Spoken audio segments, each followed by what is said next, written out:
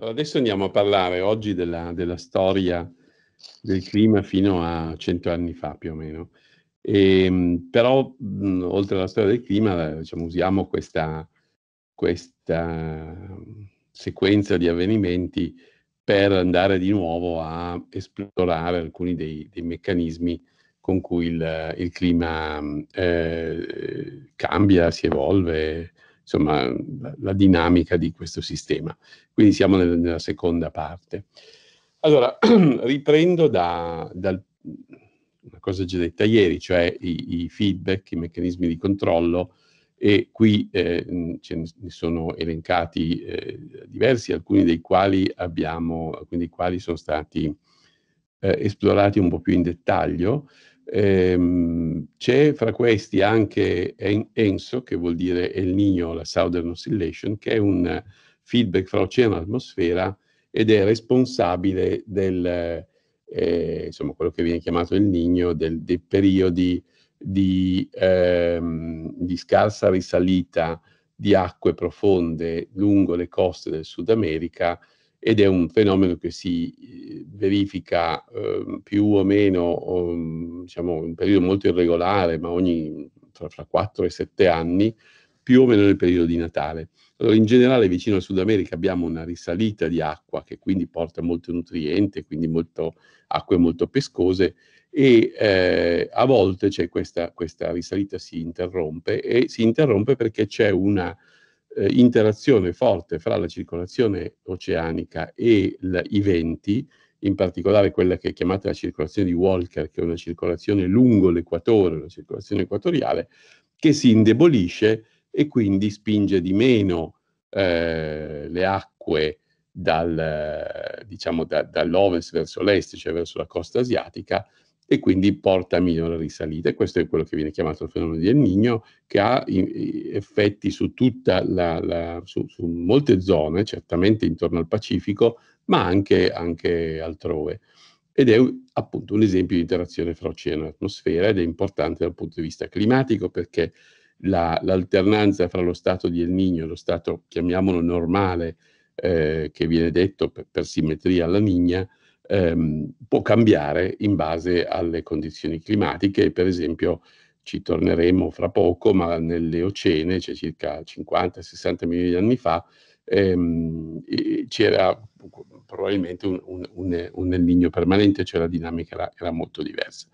E, ehm, rivedendo alcune delle cose dette ieri, abbiamo eh, il feedback ghiaccio albedo che abbiamo esplorato un po', diciamo, abbastanza in dettaglio, abbiamo la, eh, il feedback fra temperatura e quantità di vapore in atmosfera mediato dall'equazione di Clausius-Clapeyron e, e, poi abbiamo parlato delle nubi con un, due feedback contrapposti, un effetto raffreddante dovuto all'albedo delle nubi e un effetto serra eh, dovuto al fatto che le nubi contengono vapore d'acqua e goccioline d'acqua che invece mh, porta a un riscaldamento e dicevamo che quale dei due prevalga eh, dipende dal, dalle condizioni climatiche sostanzialmente. Oggi prevale l'effetto dell'albedo, quindi il raffreddamento, però non è detto che sia così in altri climi eh, diversi o ne, nel clima del futuro.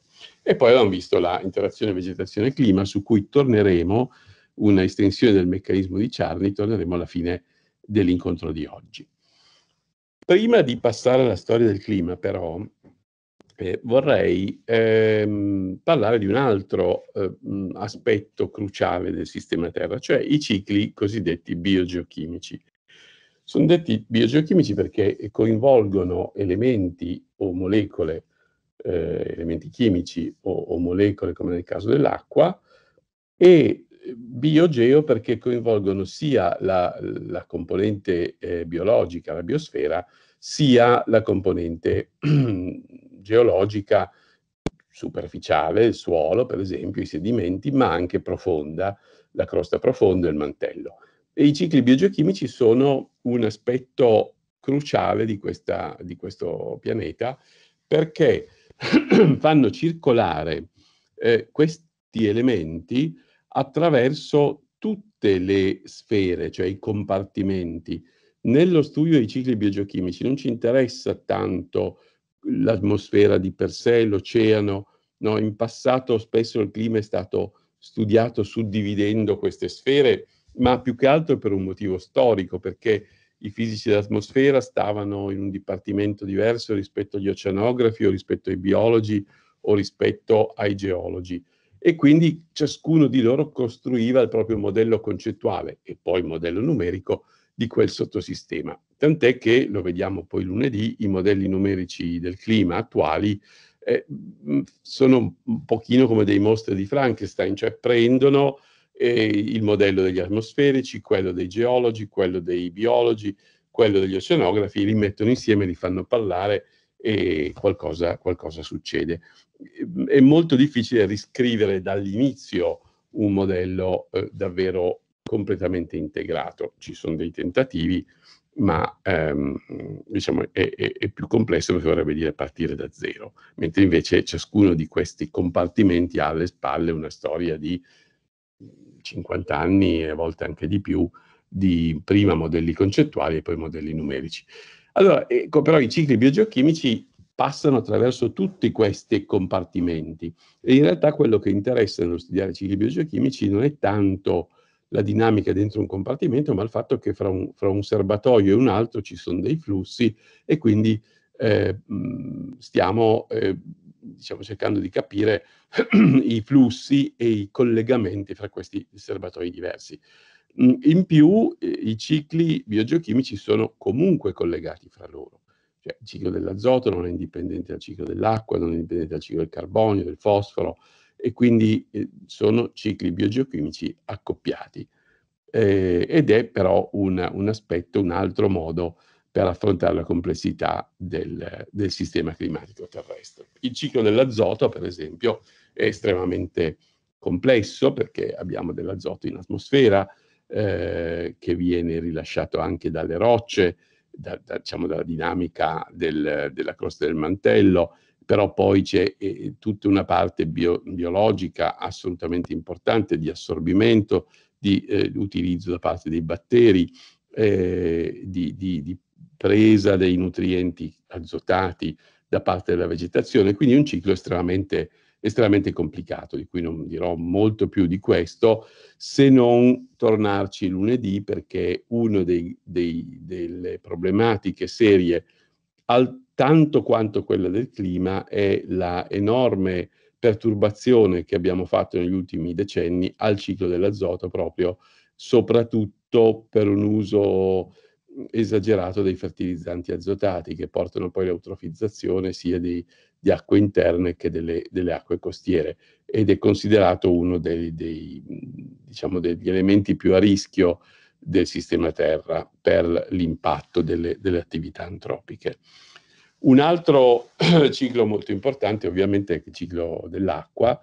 Come vi dicevo già ieri, eh, la temperatura e la pressione ehm, in atmosfera sono vicine a quelle del punto triplo dell'acqua e quindi abbiamo una grande facilità di passaggio da, da, da, da uno stato all'altro, cioè dallo stato liquido al vapore al solido e questo vuol dire che c'è un, un, ciclo idrologico estremamente forte con i rilasci di calore latente che dicevamo già ieri. Quindi una grande evaporazione eh, dal mare, da tutte le superfici liquide, ma dal mare in particolare, e, c'è, e c'è abbondanza di acqua da, da, fare evaporare, quindi la Terra è un pianeta estremamente umido in questo senso, poi viene portato in alto la condensazione, il trasferimento per quegli stessi venti che abbiamo visto ieri, la precipitazione che può essere solida o eh, liquida e poi il ruscellamento superficiale o importantissimo subsuperficiale, cioè la, il flusso di, di acqua mh, negli acquiferi delle falde, eh, che è una componente eh, essenziale. E, e, poi ovviamente parte dell'acqua che invece si solidifica eh, in, in, ghiaccio, in montagna le calotte glaciali. Ecco, il, il ciclo dell'acqua è strettamente collegato al clima e mh, parlando della storia del clima della Terra ne parliamo un po' meglio. Tendenzialmente più fa caldo, più il ciclo dell'ac del dell'acqua, il ciclo idrologico è intenso, proprio perché ci sta più vapore in atmosfera per il solito Clausius-Clapeyron e se c'è più vapore vuol dire che c'è più calore latente che può essere scambiato e c'è anche una maggiore instabilità in realtà della colonna atmosferica e quindi ehm, abbiamo un ciclo dell'acqua molto più vivace. Un po' lo stiamo vedendo già adesso con i cambiamenti climatici in corso che sono eh, molto rilevanti per noi ma modesti se confrontati alla storia eh, del, del, clima della Terra. E, e, a tanto più lo vedremo nei periodi molto caldi del passato, eh, come il ciclo dell'acqua fosse eh, molto più violento e nello stesso tempo all'opposto quando il clima è molto più freddo, c'è la temperatura molto più bassa, eh, ci sta meno vapor d'acqua in atmosfera e quindi il ciclo idrologico è meno ehm, è meno forte il clima è più arido e mh, c'è molta più polvere ehm, e, e, e, piove di meno, diciamo, grosso modo. Quindi il ciclo idrologico è molto importante. E molto, molto importante è ovviamente il ciclo globale del carbonio, che è importante per il clima della Terra e per la vita sulla Terra. Allora, il ciclo globale del carbonio ha due rami. Un ramo lento, geologico, che qui è disegnato con quell'ovale rosso, e un ramo veloce eh, biologico. Il ramo geologico scende in profondità fino nel mantello, cioè eh, eh, mette insieme atmosfera, crosta e mantello superiore, ed è ovviamente molto più lento ed è difficile dire quanto scambia, perché eh, misurarlo dai vulcani sì è facile, però ci sono tutte le faglie, cioè quelle eh, rotture a volte visibilissime, a volte no, nella crosta terrestre, da cui può esserci emissione di CO2. E in effetti anche in Italia ci sono stati parecchi lavori che sono andati a misurare in alcune ehm, faglie proprio queste cosiddette emissioni diffuse, però non è che si può fare dovunque. E quindi è una stima, la stima attuale è in realtà fra 0,5 e 1 miliardo di tonnellate di carbonio per anno. Attenzione che sono scambiate, cioè non vuol dire che sono buttate fuori e basta, sono portate fuori e riportate da altri processi, riportate in profondità. Quindi è appunto un ciclo può sbilanciarsi e vedremo che in alcuni casi si è sbilanciato, ma comunque lo, lo sbilanciamento è sempre molto più piccolo rispetto all'intensità del ciclo. Eh, il ciclo biologico invece è confinato alla superficie, è molto più veloce, in realtà eh, coinvolge dei serbatoi di carbonio che ne hanno molto meno rispetto a quello che c'è nel mantello. Nel mantello c'è una quantità inesorabile, direi, di, di carbonio eh, rispetto a quello che c'è sulla superficie. Però è un ciclo molto più veloce e quindi scambia molto di più. Il ciclo biologico scambia circa 200 miliardi di tonnellate di carbonio per anno, eh, cioè 200 petagrammi di carbonio per anno. E, ehm, e quindi è, è, più veloce, più, più, superficiale e i due cicli però interagiscono eh, fra di loro, anche se hanno dei tempi scala estremamente diversi elementi del ciclo del carbonio sono, per esempio, gli incendi, gli scambi eh, sulla superficie fra suolo, vegetazione e atmosfera, ma anche i diamanti profondi, che sono sempre parte di questo ciclo eh, molto, molto complesso e molto importante. Allora, possiamo andare, possiamo andare a studiare un po' meglio eh, il ciclo geologico perché è eh, una caratteristica eh, molto importante del nostro pianeta. Allora, il punto di partenza è che eh, è un ciclo, quindi possiamo partire dove vogliamo, ma partiamo dal fatto che in atmosfera c'è dell'anidride carbonica. Allora, se c'è dell'anidride carbonica, questa si combina con la pioggia e forma eh, acido carbonico che eh, scende eh, con la pioggia sulla superficie e reagisce con le rocce, eh, in particolare co, per esempio con i silicati.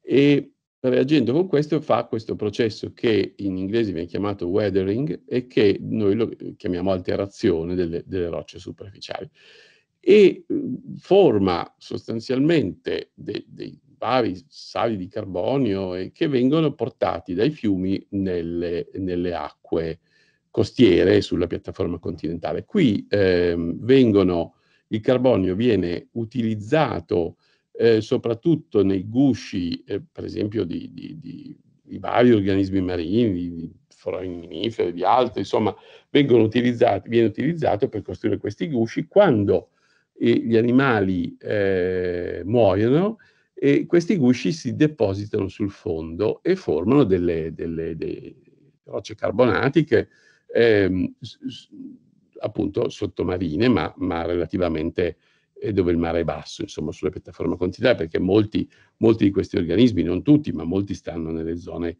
più produttive che sono appunto, da un punto di vista ecologico, che sono eh, lungo le coste. Allora, a questo punto, se ci fermassimo qui, noi avremmo che la CO2 in atmosfera verrebbe eh, assorbita da, eh, da, da, da, questi carbonati, cioè formerebbe questi carbonati e la CO2 starebbe lì e non si muoverebbe più nulla e quindi ci sarebbe una diminuzione dell'anidride carbonica in atmosfera, quindi una diminuzione dell'effetto serra.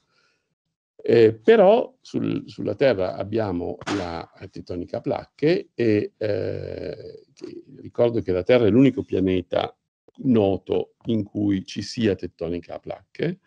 Eh, negli altri pianeti del Sistema Solare mh, attualmente non ci sono evidenze che ce ne sia. Nella tettonica a placche abbiamo che quando due placche eh, si eh, incontrano, la parte continentale, la parte di crosta continentale è più leggera, galleggia, rimane in alto, forma le montagne, ma la crosta oceanica con i carbonati eh, che eh, ci sono sopra viene portata in profondità, in profondità diciamo nella parte del mantello eh, superiore, nel mantello superficiale. E quindi qui cosa succede? Viene riscaldata di nuovo, si fonde parzialmente o totalmente, c'è una metamorfosi delle, delle, rocce, processi metamorfici delle rocce, ma viene rilasciato di nuovo quel carbonio che può combinarsi con l'ossigeno e essere quindi ributtato in atmosfera dai vulcani, da proprio quei vulcani che si formano a causa della presenza del magma nella zona in cui la placca va in subduzione eh, sotto, sotto nel, nello scontro fra due placche. E quindi vedete che abbiamo un ciclo sostanzialmente di rimozione dell'anidride carbonica dall'atmosfera e di ehm, reimmissione per, per, vulcani o per faglie nell'atmosfera. Questo ciclo è quello che scambia questi 0,5 eh, petagrammi di carbonio per, per anno e molto lento come ciclo e sul breve, diciamo, sul lungo periodo è bilanciato, ma possono esserci degli squilibri. Se eh, per qualche motivo vince eh, la, eh, l'alterazione delle rocce superficiali, avremo eh, condizioni, diciamo, climatiche che vanno verso, verso il freddo, verso mh, con temperature più basse. Mentre invece se per qualche motivo si ha un vulcanismo più forte con emissione di grandi, CO2, grandi quantità di CO2, avremo una, una, un effetto serra più forte quindi un aumento delle temperature. In realtà anche qui c'è un feedback ehm, interessante perché è un feedback che stabilizza, detto feedback negativo o stabilizzante, perché i processi di alterazione eh, delle rocce superficiali dipendono dalla temperatura. Quindi la rimozione di CO2 dall'atmosfera è tanto più efficace per i processi di alterazione, è tanto più efficace quanto più alte sono le temperature. Quindi vedete bene che se i vulcani a un certo punto buttano più CO2 e la temperatura aumenta, l'alterazione diventa più veloce e quindi più CO2 viene rimossa nello stesso tempo se i vulcani per qualche motivo emettessero meno CO2, ehm, l'alterazione delle rocce superficiali rallenta perché la temperatura diventa più bassa e quindi ne viene estratta meno dall'atmosfera. Non è un feedback completo, chiuso, perché non si torna alla temperatura di prima.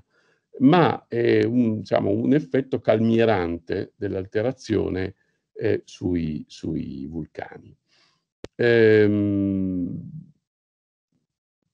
c'è molta discussione se anche l'attività vulcanica possa dipendere in realtà dall'alterazione attraverso, fra le altre cose, il peso dei carbonati, ma questo diciamo, è molto più oggetto di ehm, discussione molto aperta. Invece il fatto che il ciclo di altera- che, che i processi di alterazione dipendano dalla temperatura, questo, questo è, è, noto e sono anche pro- processi che vengono accelerati dalla presenza degli organismi viventi, eh, delle piante, dei, dei, dei batteri. E poi abbiamo il ciclo biologico, invece, che eh, è, è, completamente, è molto più veloce e riguarda sostanzialmente il suolo, eh, la parte superficiale, 10-100 metri di suolo, e il, sto parlando della parte terrestre, poi se no c'è anche la parte marina ovviamente, e eh, la vegetazione dell'atmosfera. E qui abbiamo due processi competitivi, essenzialmente la fotosintesi, la fotosintesi aerobica è quella che eh, domina in questo momento la produttività primaria degli ecosistemi ed è basata sull'assorbimento eh, di CO2 dall'atmosfera. Quindi più fotosintesi vuol dire eh, più assorbimento eh, di anidride carbonica. E, e poi ci sono i processi invece di respirazione sia delle piante, perché le piante continuano comunque a respirare e noi lo vediamo diciamo, particolarmente durante la notte perché la fotosintesi si arresta, ma la respirazione c'è anche durante il giorno, e la respirazione del suolo, cosiddetta, cioè tutta l'attività batterica che porta tutto questo a emissioni di CO2, a volte anche di metano, ma essenzialmente di, di, di CO2.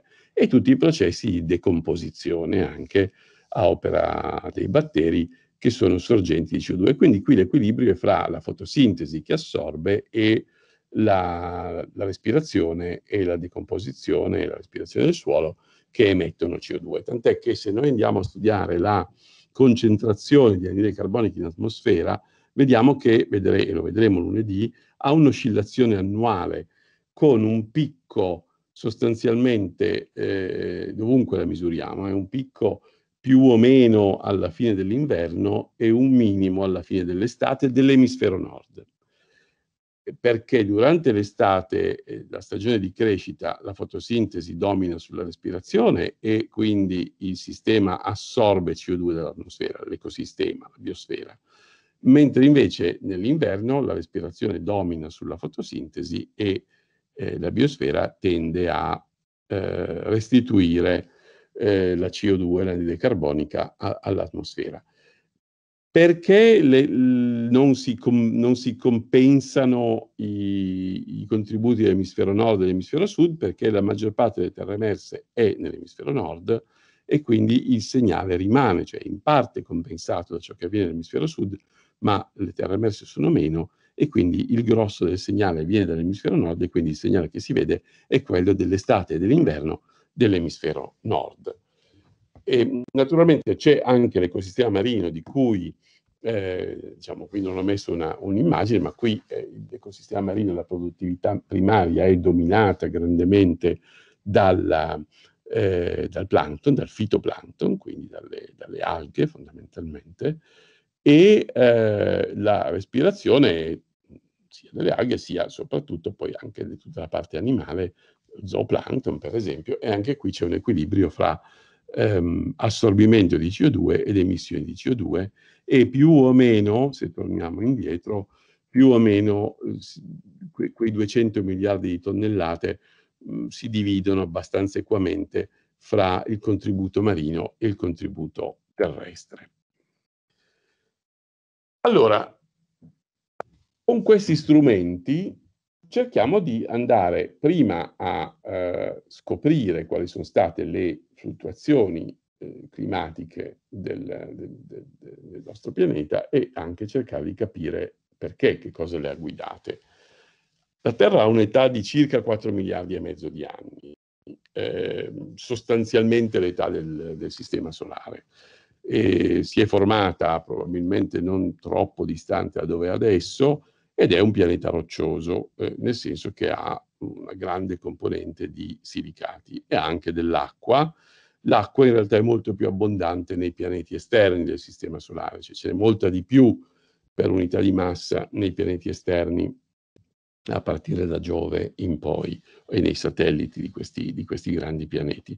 I pianeti interni hanno in generale meno acqua, ma la Terra comunque ne ha abbastanza. Poi c'è tutta una bellissima discussione su da dove venga l'acqua della Terra, eh, se venga dalle comete, che, hanno, che, sono fatte di ghiaccio fondamentalmente, se venga invece da degassing interno, cioè il degassamento interno e probabilmente viene un po' da uno e un po', un po dall'altro. Dove si è formata la Terra? Probabilmente in una nube, cioè dove si è formato il sistema solare, in una nube molecolare gigante. Questa è, un, è una fotografia di Hubble, ovviamente non si è formata lì, perché questa è una cosa che stiamo vedendo adesso, ma probabilmente qualcosa di questo genere, una cosiddetta fabbrica di stelle, fucino di stelle, e um, in queste nubi molecolari si formano delle stelle giovani con eh? Con il loro disco di accrezione eh, intorno, fatto essenzialmente di idrogeno, ma anche di polveri. Eh, le due immagini in bianco e nero sono simulazioni fatte al calcolatore della dinamica di un disco che sta di un disco intorno a una stella giovane con dei vortici che si formano e con la polvere che si aggrega nei vortici. L'immagine a destra in rosso è invece una fotografia vera di uno di questi dischi eh, dell'osservatorio ALMA. Non si vedono dei vortici, si vedono però delle zone più scure, è una, una, un ambito di ricerca mh, attualmente eh, molto, molto attivo. E in questa, piano piano il gas a un certo punto verrà spazzato via, si condensa, un processo complicatissimo, mm, già, già studiato a partire da Kant eh, e poi da tutta una serie di, di, di ricercatori. E quello che succede è che a un certo punto si è formato circa 4 miliardi e mezzo di fa, appunto per un processo che va dall'aggregazione alla coalescenza, alla collisione, mm, e questo, questo pianeta eh, che, che, era in un periodo detto adeano, perché eh, effettivamente doveva essere un mondo abbastanza eh, impossibile, con un bombardamento continuo di pezzi di, di altri eh, di altri bolidi celesti che si stavano scontrando e aggregando, a volte con, una, eh, con urti estremamente forti. Si pensa a un urto, per esempio, con un pianet pianetino diciamo, più o meno grande come Marte, eh, che dovrebbe aver formato la Luna, cioè ha fatto una collisione con la Terra, questo pianetino chiamato Teia, eh, e, e, dovrebbe avere buttato fuori una serie di residui intorno alla Terra che poi si sono condensati nella Luna, che è una composizione simile alla parte esterna della Terra, non alla parte interna. Però ovviamente tutto questo viene da, da indizi estremamente indiretti, simulazioni numeriche e, e, e, indizi anche sulla composizione isotopica delle rocce della Luna, cosa che è stato possibile uh, analizzare solo dopo che le rocce sono tornate eh, grazie alle, alle, missioni spaziali sulla Luna. E infatti adesso poi i geologi sono in attesa, gli, gli, gli astrogeologi sono in attesa delle rocce di ritorno da Marte. E poi lentamente questo mondo così violento si è eh, raffreddato e quasi subito più di 3 miliardi e mezzo di anni fa, cioè il raffreddamento è avvenuto circa 4 miliardi di anni fa, ma più di 3 miliardi e mezzo di anni fa, si, ci sono già le prime evidenze fossili di organismi unicellulari, eh, molte evidenze fossili diverse, dalle stromatoliti, ma anche proprio a evidenze biochimiche ehm, eh, non facili da trovare, ci sono sulla Terra in alcune zone, in Australia, in, alle Svalbard e in altri posti, delle rocce antichissime eh, che non sono state riciclate nel mantello e quindi possono essere analizzate. E, e ecco, insomma, ogni, ogni anno c'è una, una, una, dichiarazione di, una, di, un organismo un po' più antico, ma ecco, oltre i 3 miliardi e 7 in qualche modo si entra nel, nel, nell'ambito delle, de, delle, evidenze non così, così certe. E I tre rami principali della vita sono importanti ricordare eh, i batteri, gli archea e gli eucarioti. Eh, sono, batteri e archea sono tutti e due eh, essenzialmente unicellulari.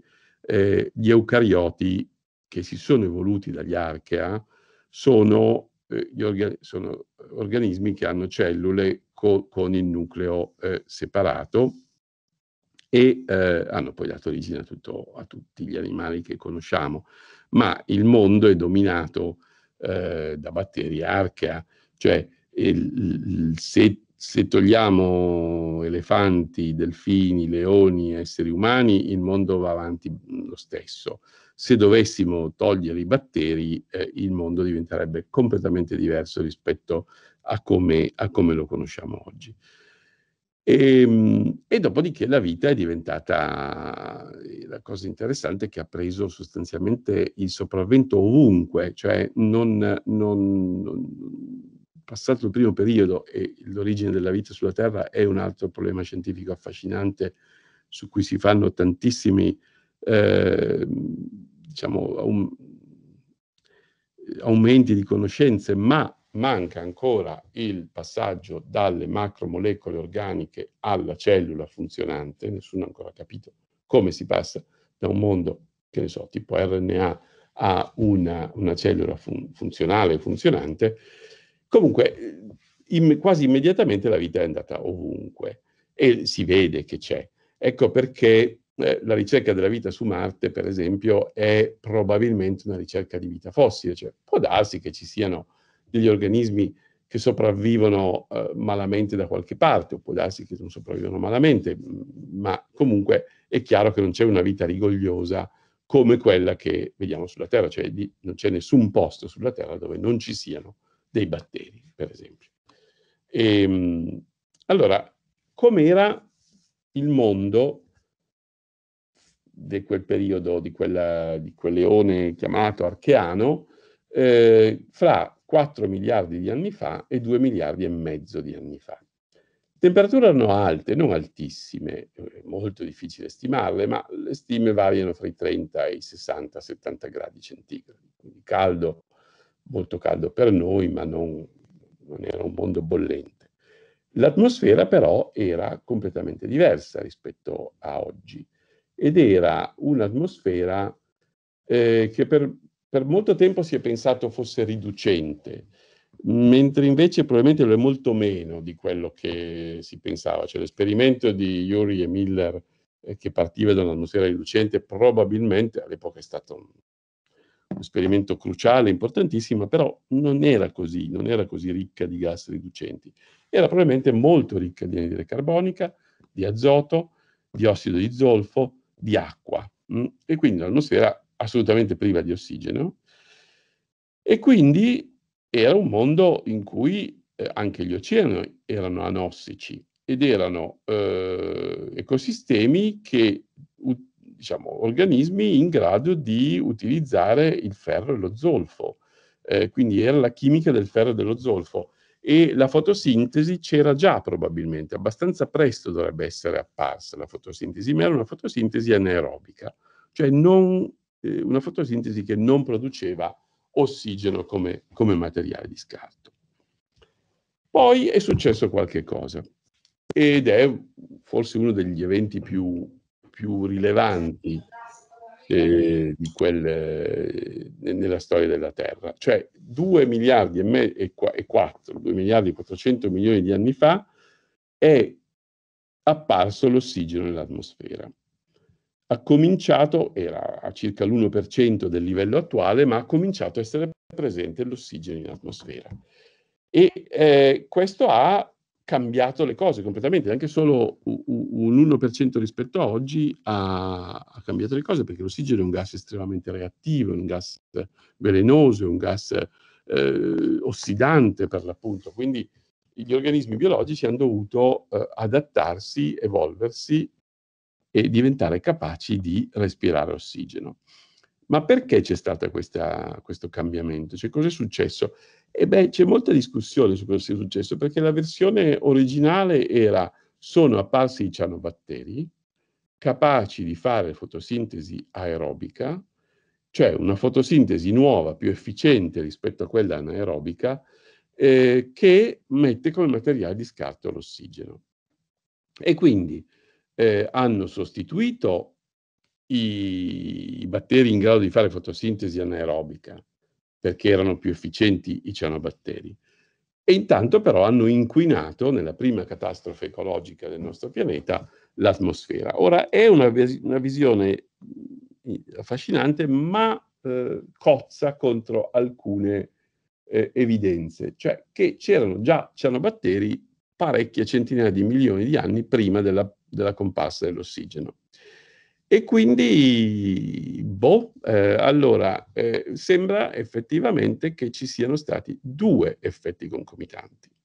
Eh, I cianobatteri hanno cominciato a produrre ossigeno, su questo non ci piove, ma eh, non è stato solo l'ossigeno lasciato in atmosfera, perché le emissioni vulcaniche all'epoca, il mantello al, terrestre all'epoca era fortemente riducente, quindi le emissioni vulcaniche erano fortemente riducenti, quindi rimuovevano l'ossigeno.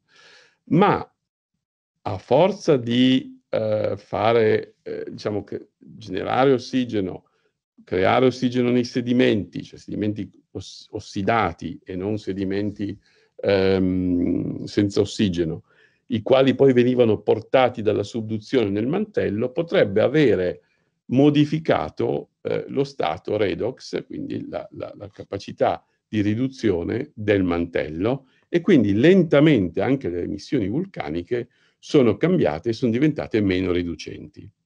E quindi queste due cose insieme, la produzione da parte dei cianobatteri e l'inquinamento eh, del mantello superiore con l'ossigeno e quindi la riduzione dell'effetto riducente eh, del mantello, delle emissioni vulcaniche, potrebbe aver permesso all'ossigeno di accumularsi. È un argomento di ricerca apertissimo in questo momento in cui si sta cercando di capire perché intorno a questo periodo, 2 miliardi e 400 milioni di anni fa, eh, contemporaneamente appare l'ossigeno, la tettonica placca diventa più strutturata, il mantello cambia stato redox, insomma ci sono tutta una serie di eventi cruciali nella vita di un pianeta che capitano più o meno eh, nello stesso periodo. E questo è interessante non solo per capire cosa è successo a casa nostra, ma anche per capire cosa può succedere, cosa è successo su altri pianeti, su altri pianeti anche non del Sistema Solare, cioè i, i, le, le migliaia di pianeti, di esopianeti rocciosi che si stanno scoprendo. La eh, presenza eh, di ossigeno eh, eh, ossidava il ferro. Il ferro era in uno stato ionico in cui poteva stare disciolto e invece ossidandolo diventa insolubile e lo fa precipitare nel sedimento. E quindi nei, nelle rocce datate 2 miliardi e 400 milioni di anni fa, 2 miliardi e 300, 2 miliardi e 200, si vedono queste, che vedete eh, rossicce sulla destra, le eh, bande d'iron formation, cioè eh, queste bande di strati fortemente ossidati e strati non ossidati, che sono dovute al fatto che ci sono state immissioni di ossigeno nei, nei mari e, e, con la conseguente per, precipitato del, de, degli ossidi di ferro. Perché sono a bande? E questo è anche un altro problema interessante perché possono essere a bande perché l'ecosistema ha avuto un'oscillazione, uno stato oscillatorio, arrivava l'ossigeno, precipitava, poi lentamente si riformava del ferro e quindi una dinamica oscillante dell'ecosistema che ha generato queste bande d'iron formation, oppure potrebbero anche essere in effetti degli spostamenti degli ossidi di ferro dopo la deposizione, cioè nei processi eh, successivi metamorfici, nei processi di, di alterazione successiva, di, di, quindi un trasferimento, un spostamento eh, diciamo differenziale fra la parte ferrosa e la parte non ferrosa. Un'altra cosa che ha comportato la presenza dell'ossigeno è che le acque diventavano ricche di ossigeno e quindi quando queste acque circolavano nella parte superficiale della crosta, eh, portavano molto ossigeno e permettevano una serie di reazioni chimiche assolutamente eh, impossibili senza la presenza dell'ossigeno e quindi si sono creati tantissimi nuovi minerali. Questo è un opale minerali che devono la loro esistenza, la, la Terra ha una grande ricchezza di diversità di minerali e devono, molti di questi devono la loro esistenza al fatto che c'è ossigeno, eh, c'è stato l'ossigeno nell'atmosfera. L'ossigeno nell'atmosfera c'era perché c'era la biosfera. E quindi eh, possiamo anche dire che buona parte della diversità dei minerali potrebbe avere una origine eh, lontana nel fatto che i cianobatteri producevano ossigeno attraverso la, la fotosintesi con rubisco, che è l'enzima della, della fotosintesi. La presenza di ossigeno in atmosfera non ha solo creato problemi agli organismi anaerobici che sono stati poi sempre più confinati alla, a nicchie, no? Ancora oggi ci sono organismi anaerobici, ma sono confinati in ecosistemi molto particolari, molto di nicchia. Nell'atmosfera ehm, di, di 2 miliardi e mezzo di anni fa c'era comunque anche del metano prodotto in gran parte, da, in parte dalle eruzioni vulcaniche, in parte dal, dalle emissioni degli organismi viventi. E il metano ha un effetto serra poderoso, molto più forte di quello dell'anidride carbonica. Quindi un po' più di metano, un po' tanto più di metano in atmosfera, portava a un effetto serra molto intenso. Ma il metano viene, eh, si combina molto facilmente con l'ossigeno. Quindi metano può stare in atmosfera tranquillo se non c'è ossigeno. Se c'è ossigeno si combina e viene fuori CO2 e acqua. E quindi la presenza di ossigeno in atmosfera ha portato sostanzialmente alla distruzione del metano.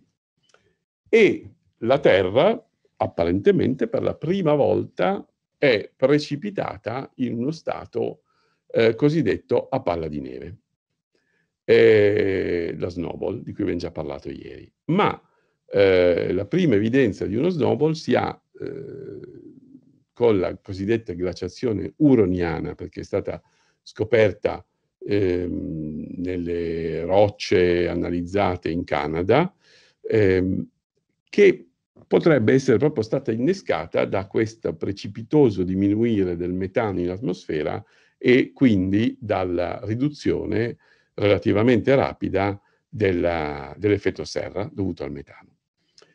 In quel periodo, fra 2 miliardi e mezzo di anni e 500 eh, milioni di anni fa circa, la, la Terra ha avuto eh, varie vicissitudini, soprattutto di tipo geologico. Da un punto di vista climatico è stato boring, è stato, infatti a volte viene chiamato il boring billion, il, il, il miliardo di anni noioso, ma con una ultima eh, oscillazione fortissima, una nuova snowball, che è quella che conosciamo meglio, perché quelli due miliardi e mezzo di anni fa ci sono evidenze solo molto sparse, invece quella di, di, di, di circa 600 milioni di anni fa, l'ultimo snowball è ehm, stato eh, studiato e, e, e, misurato, trovato in, diciamo, evidenze in molte rocce, in molte zone diverse del, della Terra. E, è chiaro che i continenti erano messi in modo diverso rispetto, rispetto a oggi, ma ehm, si può ricostruire da dove venivano i continenti, soprattutto in base al campo, al campo magnetico rimasto congelato nella roccia. E quindi l'ultimo snowball, quello più noto, è quello di 600 milioni di anni fa. Perché è capitato questo secondo snowball? E di nuovo ci può dire qualcosa sul, sul cosa, diciamo, cosa, cosa, come funziona il clima? Beh, probabilmente sono stati due motivi diversi. Per caso, c'era un continente, un, un, unico grande continente chiamato Rodinia, che per il gioco della tettonica a placche stava in quel periodo, prima dello snowball, all'equatore. E allora all'equatore capitano due cose. Prima di tutto, la vita sulla terraferma non c'era ancora se non sotto forma di licheni, eh, non, non, c'era la vegetazione, c'era qualche lichene, qualche batterio comunque che sono dovunque, ma quindi i continenti erano, eh, erano chiari, eh, erano soprattutto di granito o, o, di sabbia di granito, quindi molto chiari, quindi con un'albedo molto alta. Quando i continenti vanno a finire sull'equatore, eh, beh, allora se hanno un'albedo alta, sull'equatore arriva la maggior parte della luce, sappiamo, della radiazione solare, la riflettono e vuol dire che l'effetto è forte di riflessione. La seconda cosa è che i continenti eh, sono soggetti a processi di alterazione e questi dipendono dalla temperatura. Quindi se io ho un grande continente che finisce eh, sull'equatore, i processi di alterazione saranno più forti. A completare il quadro, e quindi di rimozione di anidride carbonica dall'atmosfera, a completare il quadro, eh, il continente Rodinia si stava, il supercontinente Rodinia si stava frammentando e quindi c'erano molte zone di acqua bassa, di piattaforma continentale intorno, dove tutti i carbonati, il carbonio strappato dai continenti dall'alterazione, poteva essere utilizzato dagli organismi, dagli organismi marini e poi cadere nelle zone, eh, nei, nei carbonati, formando i carbonati. E quindi mh, mm, buttiamo via dell'energia solare, della radiazione solare con la riflessione, tiriamo via della CO2 dall'atmosfera con eh, la, il weathering, con l'alterazione delle rocce e buttiamolo eh, in carbonati che finiscono sotto eh, nel sottosuolo, il pianeta è andato a finire nel, nello stato di snowball. Ehm, e beh, poteva anche ehm, rimanerci, no? Cioè, questa è una delle possibili catastrofi di un pianeta. Ma abbiamo la dinamica interna. La dinamica interna, la subduzione il trasferimento di calore dal, dal mantello, i vulcani hanno continuato la loro azione a buttare CO2 in atmosfera. Eh, buttare CO2 in atmosfera con il fatto che ehm, non c'era alterazione perché era tutto coperto di ghiacci, o quasi, forse c'era uno, una, uno, un, un, piccolo canale diciamo, equatoriale ancora aperto, ma era quasi tutto coperto di ghiacci, alterazione molto, molto bassa, la CO2 si è accumulata in atmosfera, ha raggiunto livelli molto alti, eh, molto più alti di quello che sarebbe stato successivamente, e affinché c'è stata una deglaciazione esplosiva eh, con eh, rilascio di grandi quantità di nutrienti eh, negli oceani, con eh, condizioni tropicali su tutto il pianeta e una, un, una botta di vita, insomma, per il pianeta dopo questo lungo inverno eh, ghiacciato. E, ed è stata davvero una botta di vita, perché eh, dopo eh, che lo snowball si è eh, fuso, abbiamo avuto le grandi esplosioni evolutive che eh, un uh, geobiologo, Andrew Knoll, uh, chiama ehm, eh, diciamo, ecologia permissiva, eh, nel senso che eh, in generale gli organismi fanno fatica a evolversi, cioè è difficile che nuove forme riescano a stabilirsi perché già tutte le nicchie ecologiche sono occupate. Mentre invece nel caso in cui uno snowball eh, abbia sterminato eh, una buona parte degli organismi viventi, ci sono un sacco di nicchie ecologiche eh, disponibili, in più la fusione dei ghiacci ha rilasciato enormi quantità di nutrienti, quindi non c'è nessuno, c'è un sacco da mangiare, l'evoluzione è stata rapidissima. Una prima esplosione evolutiva con la cosiddetta fauna di Ediacara, eh, cosiddetta esplosione di Avalon dalla isola canadese dove sono stati trovati i primi fossili, con una fauna assolutamente inverosimile per noi, diversissima dal, da quello che sarebbe venuto dopo. Tant'è che è sparita, non ha lasciato tracce, forse per processi, di, forse per un, processi vulcanici, forse per impatto di asteroidi, forse chi lo sa, comunque è sparita e poco dopo c'è stata la seconda esplosione che poi ha dato origine al mondo come lo conosciamo oggi, che è l'esplosione cambriana. All'inizio con organismi anche questi abbastanza pittoreschi, perché l'evoluzione esplorava tutte le possibilità.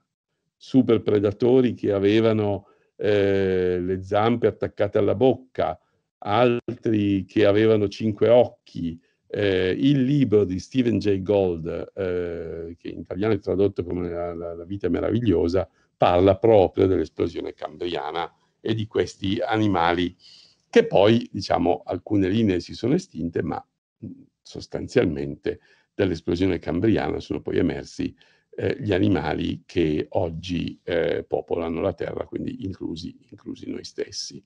lì in alto c'è un trilobite che invece poi si è estinto, ma sono durati per, per molto tempo. Allora, andiamo a vedere, negli ultimi 500 milioni di anni abbiamo avuto oscillazioni eh, climatiche fra caldo e freddo, ricostruite in generale con i rapporti isotopici da, nel, eh, nei sedimenti marini profondi, ehm, perché per esempio l'evaporazione distingue tra ossigeno 18 e ossigeno 16 e quindi il mare diventa eh, più ricco di ossigeno eh, 18 eh, in certe condizioni, eh, mentre invece diventa eh, meno ricco di ossigeno 18 in, in, altre condizioni.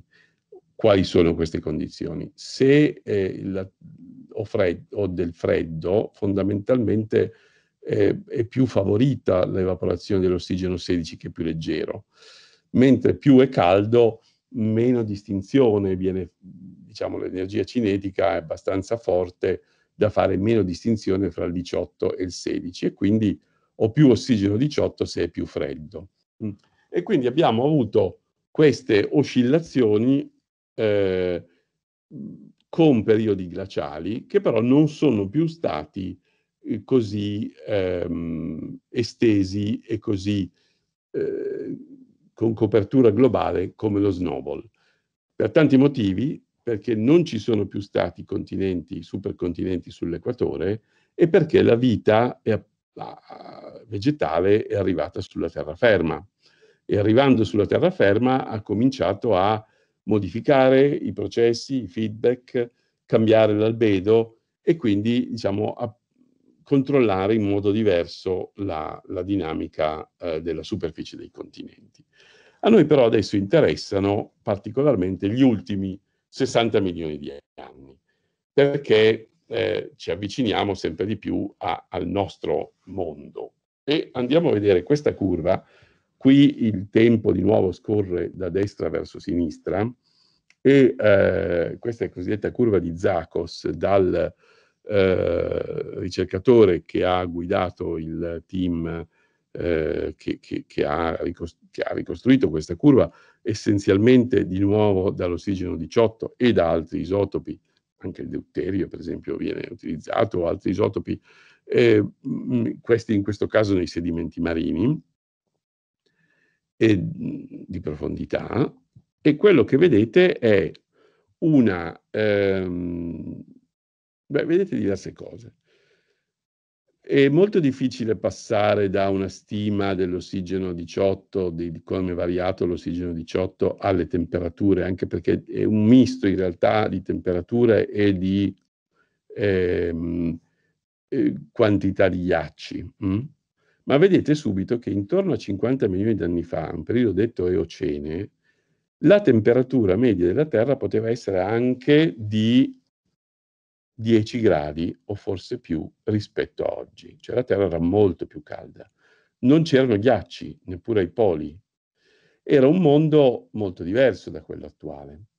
E poi vedete lì piccola, un piccolo sbuffo di caldo che, è chiamato, che è chiamato PTM, il Paleocene Eocene Thermal Maximum, cioè il massimo termico al confine fra il Paleocene e l'Eocene. Ma, di questo parliamo fra un minuto, però il mondo delle oceane, cioè intorno a 50 milioni di anni fa, era un mondo dove c'erano i coccodrilli ai poli, gli alligatori ai poli, sono stati trovati fossili di alligatori. Ed è un mondo interessante perché è un po' l'incubo del cambiamento globale. E soprattutto, se noi andiamo a vedere questa curva, questa curva ricostruisce quelle che possono essere le temperature medie di quel mondo e sono le due curve colorate, guardate soprattutto quella gialla, con, eh, rispetto a oggi, questa è la temperatura in funzione della latitudine, la temperatura media in funzione della latitudine. E, ehm, la, la temperatura più bassa ai poli, più alta all'equatore, ma quello che vedete è che nelle oceane era molto più piatta, cioè i l'equatore era un po' più caldo di oggi, qui forse fin eccessivo, questo poi ci sono altri dati successivi, però era più caldo di oggi, ma i poli erano molto più caldi di oggi, quindi eh, il gradiente di temperatura fra la differenza di temperatura fra equatore e poli era molto minore rispetto a oggi. Quindi era un mondo cosiddetto equable, cioè un mondo più equilibrato, più egualitario, in cui non c'era tutta questa differenza di temperatura fra poli ed equatore. Questa era la grande caratteristica delle, del, di quei eh, momenti di, di, di, clima molto caldo del, intorno, intorno, alle oceane.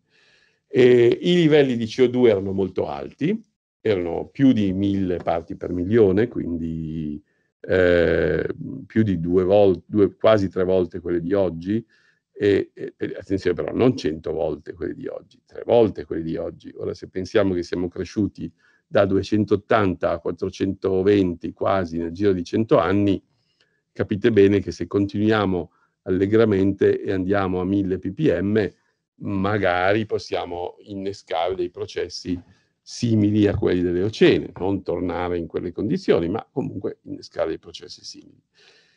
E la domanda che ci possiamo porre è perché ci fosse questa grossa differenza di, rispetto a oggi, cioè una minore differenza di temperatura fra poli ed equatore rispetto a oggi, che invece è molto più, è molto più eh, marcata.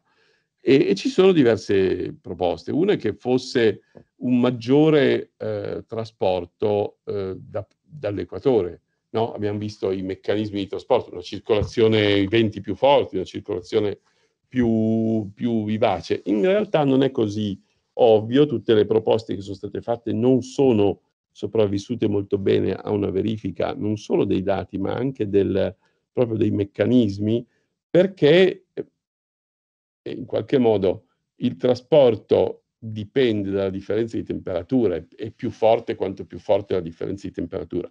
Se c'è un trasporto forte, cerca, eh, questo tende a ugualizzare le temperature, ma allora come feedback c'è che diminuisce il trasporto e quindi non è così ovvio che ci siano dei meccanismi in grado di andare, diciamo, a trasportare anche se la differenza di temperatura è bassa. L'altra possibilità, che è particolarmente interessante, è che ci fossero, dato che il riscaldamento è soprattutto ai poli, eh, che ci fossero delle nubi polari molto più eh, vivaci e molto più dense e diffuse di quelle che eh, abbiamo oggi, sia in troposfera sia in stratosfera. Questo perché con i, i, mari completamente liberi di ghiaccio c'era molta più evaporazione anche ai poli e con temperature molto più alte, quindi la formazione di grandi nubi, eh, mo molte di più rispetto a oggi. Ora, le nubi, abbiamo detto, hanno anche un effetto albedo, ma al polo per sei mesi fa notte, quindi dell'albedo non ne può importare di meno e quindi rimane solo l'effetto serra. Allora, oggi la spiegazione più promettente è quella di un cambiamento completo nella nu nu nuvolosità eh, polare, eh, sia in troposfera che in stratosfera, e quindi una possibile eh, motivazione di questa differenza di, rispetto alla situazione odierna. E poi tutto un mondo più caldo perché c'era molta più CO2, era mm, stata emessa, portata molta, molta più CO2.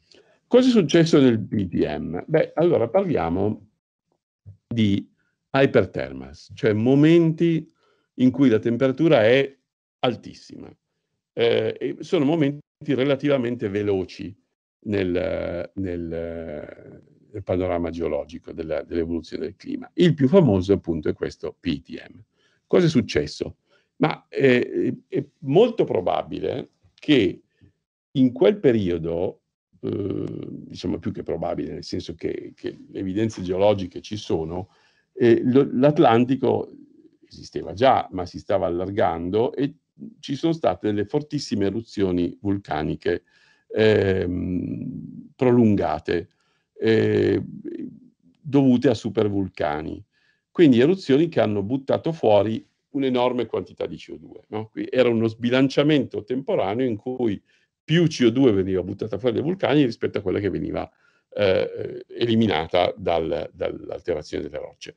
E questo ha portato a delle temperature più alte, ma da sola la quantità di CO2 emessa dai vulcani non basta. E, ehm, deve esserci qualche cos'altro. e le due ipotesi più promettenti sono eh, legate al permafrost e ai clatrati. Sotto il mare e anche ai poli, è vero che ai poli del mondo delle oceane non c'erano ghiacciai, ma c'era permafrost, c'era suolo ghiacciato, sottosuolo ghiacciato, Beh, comunque ai poli eh, poteva nel sottosuolo ghiacciare. E ehm, se il permafrost si scongela, il permafrost contiene molta sostanza organica congelata e nel momento in cui si scongela i batteri cominciano ad andare a nozze e eh, producono enormi quantità di gas serra, un po' come lasciare un freezer, eh, staccarlo con il cibo dentro. E quindi, prima cosa, questa immagine che vedete da, da, in alto a destra della Siberia è un, invece attuale, è un grande buco che si forma nella, nella, nella tundra siberiana e uno dei motivi è proprio il rilascio di grandi bolli di metano dal permafrost che si sta scongelando. L'altra componente, forse ancora più importante nelle oceane, è che c'erano degli idrati di, eh, di, di metano, eh, chiamati a volte clatrati, eh, che sono delle strutture di ghiaccio, ma strutture cristalline in cui l'acqua ha dentro, intrappola dentro delle molecole, eh, per esempio di metano. E ce ne sono anche oggi, e stanno, sono stabilizzati dalle basse temperature e, dalla, e, dall'alta pressione, quindi si stanno in fondo al mare, nei, nei sedimenti sotto il mare. E se ehm, la temperatura aumenta, eh, il, il, l'idrato diventa instabile e rilascia metano.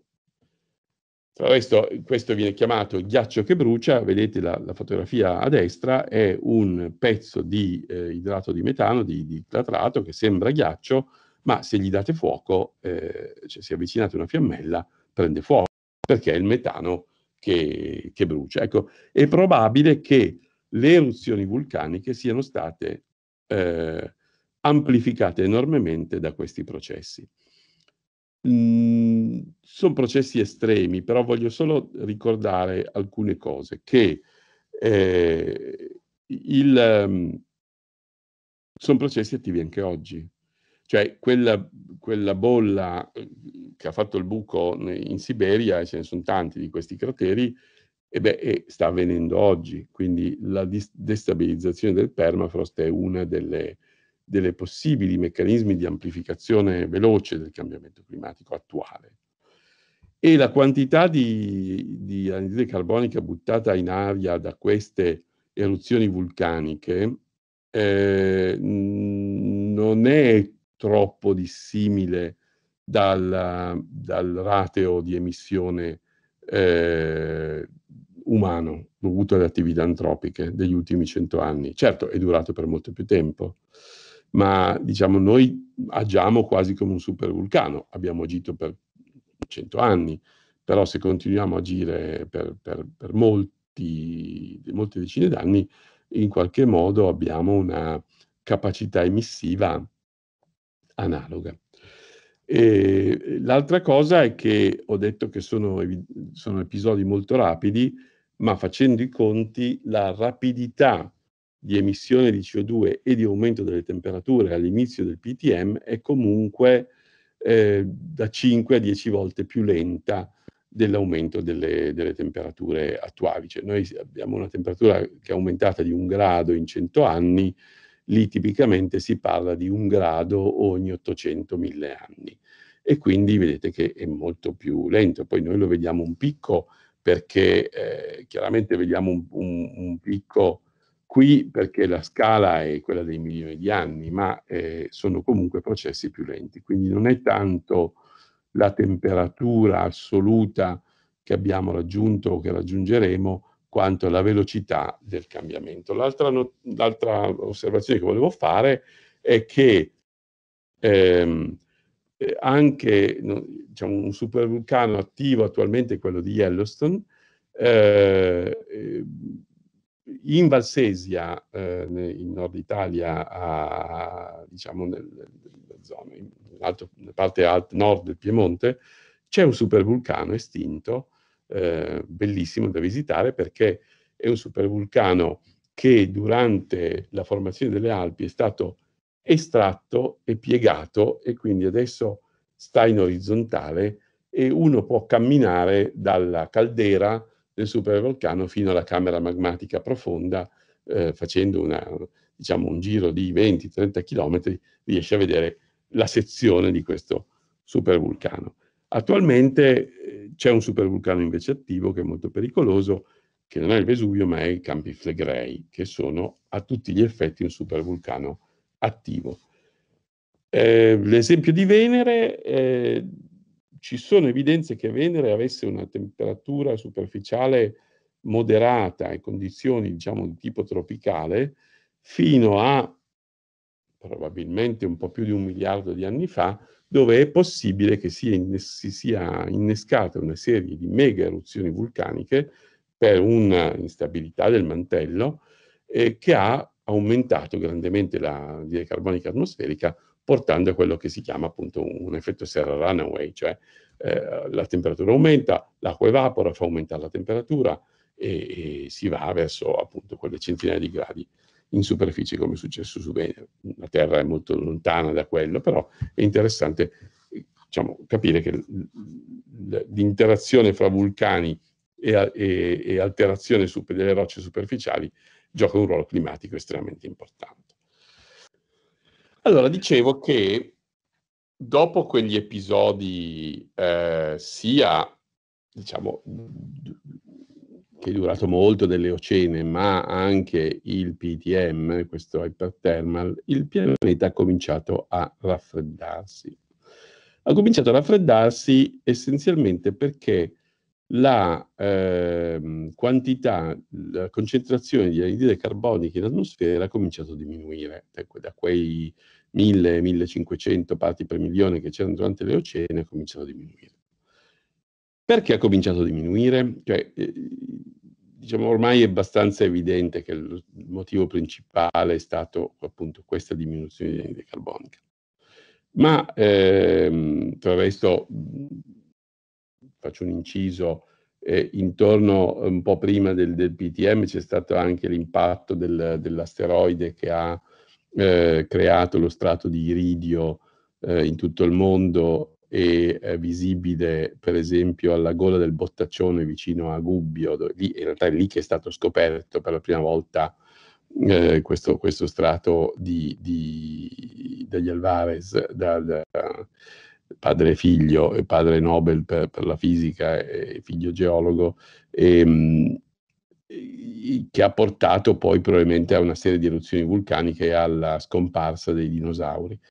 Eh, però ecco, non ha lasciato un segnale climatico di lungo periodo, ha lasciato probabilmente un, un segnale climatico molto forte su periodi di 10-20 anni, eh, probabilmente con una specie di inverno prolungato dovuto al fatto che eh, sono state emesse molte polveri in atmosfera, ma non, ha, non, non si vede dalla, dalla curva un, un segnale particolarmente prolungato.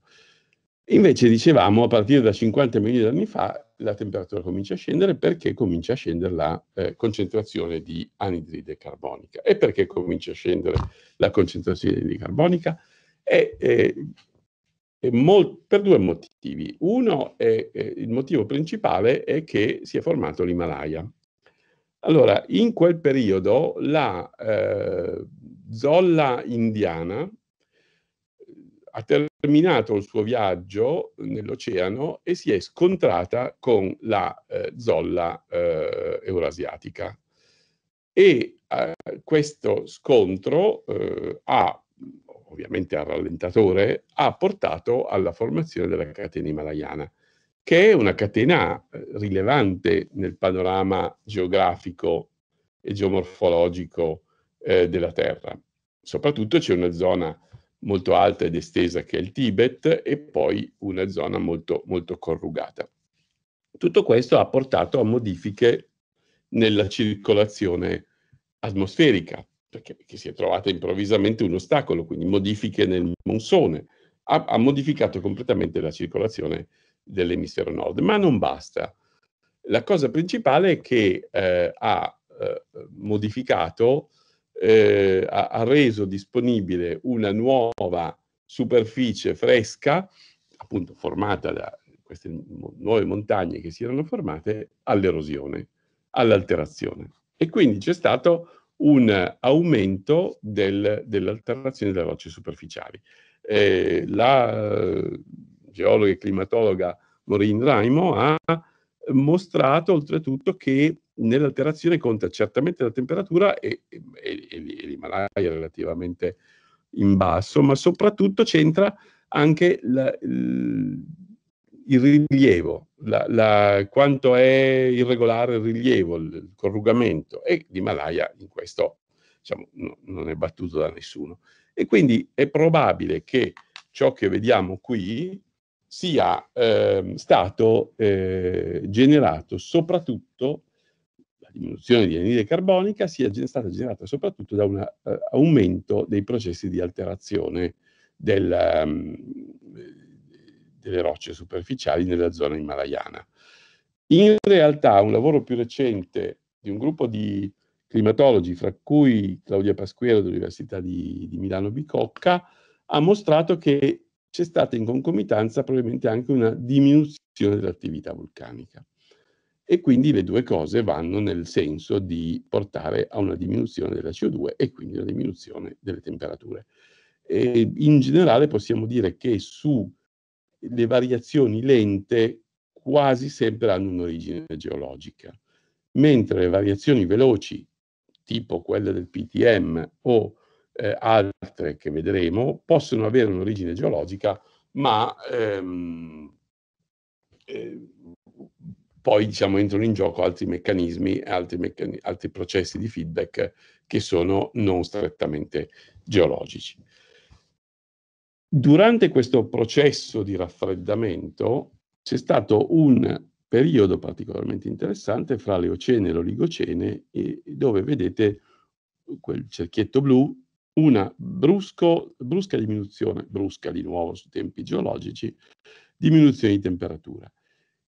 Questa diminuzione di temperatura in realtà è stata eh, associata, si è capito, che è eh, legata alla formazione della calotta antartica. L'Antartide era in quella regione, isolata sia da un vortice polare sia da una corrente circumpolare e la diminuzione di temperatura a un certo punto ha permesso di la formazione di ghiacci, prima nel, nella calotta orientale antartica e poi nella calotta, calotta, occidentale, che è quella più instabile, ma lì ha cominciato, diciamo, si è passati da ghiacciai sparsi che avevano cominciato a formarsi a una calotta glaciale vera e propria, la quale poi per albedo ha ulteriormente eh, favorito la, la, sua stessa permanenza, insomma, la sua stessa, che eh, riflettendo la luce solare rendeva il clima di quella regione ancora, ancora più freddo. E quindi quello che abbiamo visto ehm, nel, eh, qui appunto è legato a una formazione di una calotta glaciale antartica, mentre quella invece groenlandese si è formata poi molto più tardi. Allora, eh, andiamo adesso a tempi ancora più vicini a noi, cioè gli ultimi 3 milioni di anni circa 3 milioni di anni, di anni fa, e qui andiamo in questo ultimo periodo eh, che, che, che, vedete, che, vedete, qui in bianco vicino, vicino allo zero, ehm, è successo qualche cosa di nuovo. Il sistema climatico è andato appunto via via raffreddandosi e a un certo punto è entrato in una, in una situazione oscillatoria. Ha cominciato a oscillare fra periodi glaciali eh, freddi, coperti di ghiaccio, e almeno nelle alte latitudini, e periodi interglaciali più caldi e con meno ghiaccio. E questo è capitato circa 3 milioni di anni fa. Mm, ricordo che la concentrazione di CO2 subito prima di questo innesco era di poco più di 400, diciamo, fra 400 e 500 parti per milione, quindi non troppo diversa da quella eh, che abbiamo oggi. E anche le condizioni, diciamo, della disposizione dei continenti erano relativamente simili. Allora, ehm, 3 milioni di anni fa comincia questo, questo, questo, comportamento oscillatorio che vedete qui, questo per gli ultimi 800.000 anni. Tra l'altro è interessante perché fino a, a un, eh, diciamo, fino a un certo momento, intorno a 800.000, un milione di anni fa, il periodo dominante era di 40.000 anni, mentre invece negli ultimi 800.000 anni il periodo dominante è di 100.000 anni. Cioè sono oscillazioni relativamente regolari, eh, caratterizzate da, eh, dunque qui il, il, il, caldo appunto sta in alto e il freddo sta in basso, quindi il tempo scorre da destra verso sinistra, oggi siamo nell'Olocene, lì in fondo abbiamo già visto ieri questo grafico, ehm, che è un interglaciale, e quindi vedete che sono le ultime almeno oscillazioni irregolari eh, che lentamente la temperatura scende, guardiamo eh, dentro il cerchio rosso, eh, dal numerello 11, eh, eh, dello stadio 11, eh, la temperatura lentamente scende e la quantità di ghiacci cresce corrispondentemente fino a raggiungere un picco glaciale e poi una deglaciazione relativamente rapida con una ehm, fusione generalizzata dei ghiacci e un diciamo, muoversi verso un interglaciale più caldo e poi il ciclo ricomincia. E è un tema di ricerca affascinante anche perché bisogna capire perché si è innescato 3 milioni di anni fa questo comportamento oscillatorio e perché circa un milione di anni fa è passato da 40.000 anni a 100.000 anni. E ci sono molti lavori su questo, eh, diciamo, estremamente interessanti. Eh, il, la, period- la, quasi periodicità, la, in qualche modo la, la, periodicità molto approssimata, vedete che è un segnale comunque irregolare, ma con questa periodicità approssimata dovrebbe essere in realtà guidata dalle variazioni dell'orbita terrestre. L'orbita terrestre eh, non, è, diciamo, non è un'ellisse perfetta che non si muove mai, ma ha un'eccentricità a causa della perturbazione degli altri pianeti, della, diciamo, dell'intero sistema solare e uh, il moto dei, dei pianeti e dei satelliti è caotico, anche se su tempi molto lunghi, come ha mostrato un astronomo francese, Jacques Lascar, e eh, quindi nel, nel, breve periodo eh, la, l'ellitticità, cioè quanto è allungata l'orbita terrestre, cambia e cambia anche, oh, scusate, torno indietro, cambia anche la, l'inclinazione dell'asse terrestre che adesso è di 23 gradi, ma può oscillare un po' di più, un po' di meno.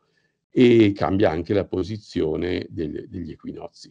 Allora, la base di questa teoria del controllo orbitale sulle glaciazioni, che viene detta teoria di Milankovic, dal nome di Milutin Milankovic, un ingegnere, astronomo, scienziato serbo degli inizi del Novecento, eh, è che quando l'obliquità è maggiore arriva più eh, radiazione solare in primavera nell'emisfero nord, nelle alte latitudini. E quindi questa maggiore radiazione solare nell'emisfero nord delle alte latitudini tende a fondere più facilmente il ghiaccio che si è formato durante l'inverno. E quindi la, il controllo su quanto ghiaccio da un anno all'altro si fonde o rimane è legato anche a, proprio all'obliquità, soprattutto all'obliquità. E quindi, però, questo non è un segnale che è sufficientemente forte da far fondere tutto il ghiaccio o non farlo fondere. Deve essere amplificato, per esempio, proprio dal feedback ghiaccio-albedo, eh, perché ci sono questi meccanismi di amplificazione interna. E questa appunto è la cosiddetta teoria astronomica delle, delle, delle glaciazioni, de, dell'era glaciale da 3 milioni di anni fa a oggi e i periodi glaciali o interglaciali sono questi singoli, individuali. L'ultimo periodo glaciale è stato circa 20.000 anni fa, al picco, e dopo ha cominciato a eh, diminuire. E allora andiamo a vedere ehm, eh, in un'altra carota. Ecco, non vi ho detto come si ottengono questi dati? Questi dati si ottengono da carotaggi glaciali eh, in Antartide questo c'è stato un primo carotaggio eh, in, vicino alla stazione russa di Vostok e ehm, infatti viene chiamato il, il, il, carotaggio di Vostok, il Vostok Ice Core, che arrivava a 400.000 anni. Poi c'è stato un grandissimo progetto europeo eh, chiamato EPICA, eh, che ha portato a questi dati che vedete qui, un carotaggio degli ultimi eh, 800.000 anni. E poi adesso è in corso, è stato approvato, ed è in corso un progetto che si chiama Beyond Epica, che dovrebbe arrivare più o meno al massimo che si può vedere nella calotta antartica, cioè un milione e due, un milione e tre ehm, di, di anni nel passato. Notate che le temperature sono sempre ottenute dalle misure isotopiche di deuterio eh, in questo caso di eh, ossigeno 18, proprio per i motivi eh, diciamo, di frammentazione che ho già detto prima, ma ci sono anche misure dirette di anidride carbonica. Ed è bellissimo eh, capire come sono fatte queste misure, perché sono, questa è l'anidride carbonica, la concentrazione di anidride carbonica che è conservata nelle bollicine di aria che sono rimaste intrappolate nel ghiaccio quando si stava formando. Quindi nel ghiaccio ci sono bollicine di aria che contengono l'aria di 400.000 anni fa, 600.000 anni fa e così via. E quindi è una tecnica assai complessa che però permette di ricostruire in modo molto dettagliato l'andamento, per esempio, della CO2 e, della, e, e delle temperature. Se veniamo a, invece a tempi più vicini a noi, andiamo a vedere l'ultimo picco glaciale, e qui il tempo scorre invece, tanto per confondere le idee, da sinistra verso destra. Vedete di nuovo delle temperature e vedete che cosa? Che durante il picco glaciale in realtà la temperatura è fortemente variabile, è oscillante, varia fra caldo e freddo, sempre sul freddino, però varia fra caldo e freddo, molto rapidamente, come delle mini epoche glaciali molto rapide. Questa è una temperatura di un carotaggio groenlandese, quindi nell'emisfero nord. E, ehm, mentre invece se andate a vedere l'ultimo periodo, il periodo interglaciale dell'Olocene, la temperatura è molto più stabile. Allora, la scoperta di queste oscillazioni, eh, ci sono due tipologie di oscillazioni. Ci sono questi eventi di Dansgaard-Oeschger che hanno una periodicità molto approssimata di 1500 anni, ma molto approssimata, e degli eventi scoperti un po' per caso da Heinrich, quando era un postdoc, un giovane ricercatore, gli eventi di Heinrich che sono grandi rilasci di ghiaccio ehm, da parte degli scudi glaciali e di grandi iceberg che poi girano per l'oceano, si fondono alle latitudini eh, tropicali e rilasciano sul fondo dell'oceano i sedimenti glaciali che avevano intrappolato. E quindi eh, sono stati scoperti questi eventi di Heinrich come, eh, diciamo, grazie al fatto di aver trovato dei sedimenti glaciali qua e là sul fondo dell'oceano in latitudini tropicali, Oceano Atlantico. E um, le, gli eventi di Heinrich sono corrispondenti alle oscillazioni di Dansgaard-Oeschger più forti, più, eh, più, più, importanti. Allora, affascinante, affascinante il fatto che sono state trovate oscillazioni analoghe anche in Antartide, eh, in, in, in opposizione di fase con un piccolo sfasamento, cioè quando l'Artico è caldo l'Antartide è freddo e viceversa. E allora dobbiamo cercare di capire cosa è successo e cercare di capire cosa è successo, la spiegazione più ehm, eh, ragionevole, più supportata dai dati è l'instabilità della circolazione termalina. Allora, l'idea, ritorniamo alla circolazione termalina, vedete, guardate nell'Atlantico il ramo blu, cioè quello profondo, vedete che l'acqua fredda non è che risale all'equatore, ma eh, continua sul fondo dell'oceano andare fino quasi in Antartide. E risale poi dopo, cioè c'è acqua antartica che calda portata che arriva e, e attraversa l'equatore. È una circolazione più complessa rispetto al dire sprofondo in, uh, al polo e risalgo all'equatore. Questa si fa tutto il giro, va fino all'altro polo. Mm? Allora, cosa vuol dire? Che la circolazione termolina portando acqua fredda verso, dal polo nord verso il polo sud richiama acqua calda attraverso l'equatore e quindi permette il riscaldamento delle latitudini, eh, delle, lati- delle alte latitudini nord.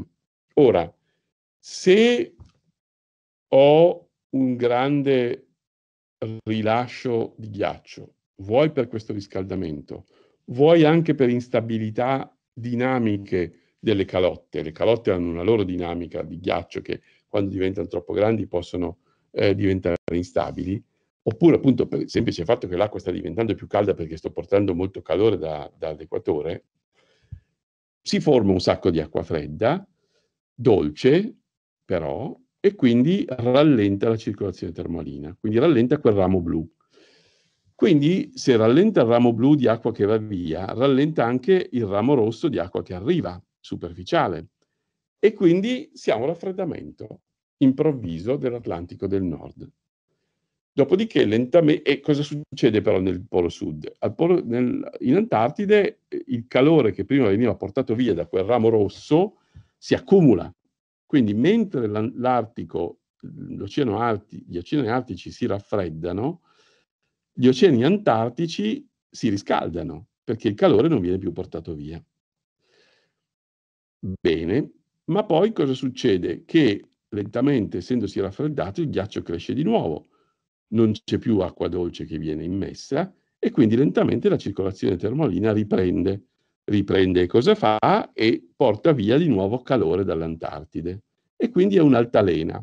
Eh, Wally Brocker, che eh, stato appunto padre, uno dei padri fondatori dello studio della circolazione termolina e di molte altre cose, ha chiamato, un termine geniale, questa, questa oscillazione eh, l'altalena bipolare, perché continua, perché coinvolge su due poli, è in opposizione di fase, con un lieve sfasamento del polo sud perché reagisce lentamente perché ha delle coste diverse rispetto a quelle del polo nord, e quindi il polo nord si, si scalda, collassa, blocca la, la circolazione termolina, non la blocca, la rallenta, rallenta il trasporto di calore, quindi si riscalda, eh, cioè quindi rallenta, quindi si raffredda, eh, il, il, trasporto di calore viene rallentato, il polo sud si, raffredda, si riscalda, e, e però di là intanto riprende e così via. Il motore è sempre, è sempre nella zona artica. Allora, la cosa interessante che discutevamo ieri alla fine è che e questa oscillazione, seppur molto, molto, molto più modesta, potrebbe continuare ancora oggi, perché comunque abbiamo un, eh, una, un Artico che ha e un'Antartide che hanno comunque dei ghiacci. E quindi potrebbe esserci questo segnale di oscillazione, e quindi il rallentamento della corrente del Golfo potrebbe non essere il segno di, uno, di un cambiamento drastico fra due stati, ma un segno di questa oscillazione eventualmente perturbata, modificata certamente dall'intervento umano e quindi eventualmente eh, amplificata di nuovo dall'intervento umano che tende a fare eh, fondere molto di più eh, i ghiacci del nord. Ecco, però per dire il sistema climatico di per sé è ricco di comportamenti inaspettati, di oscillazioni, di comportamenti caotici e così via. Poi, ecco, andiamo invece ancora qui. Eh, vedete, verso la fine, eh, intorno a 20, cioè fra 20 e 15 mila anni fa, la temperatura è aumentata, i ghiacci si sono fusi.